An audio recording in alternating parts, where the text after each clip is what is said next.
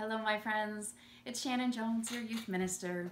Just reaching out to let you know that I'm thinking of you. I'm praying for you. The word that seems to drive our days lately is distance, right? Social distancing, distant learning. I know we're adjusting to that in my house. I just wanted to remind you that in spite of these challenges, in spite of these hard times, our God is never distant.